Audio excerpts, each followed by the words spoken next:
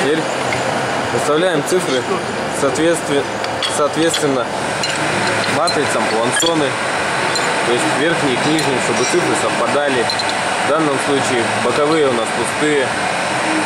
Так, двойка вверх ногами. Вверх ногами. Да.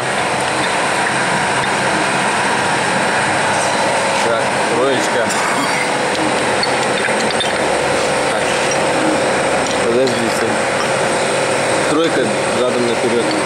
Почему? Ну, потому что по матрице смотрим. Матрица у нас вот стоит, тройка вот так вот теперь. Во. Две сразу.